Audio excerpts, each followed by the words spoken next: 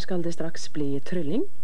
Men vi minner om at det blir et nytt avsnitt av den britiske komiserien Frynset i kanten klokka 21.15.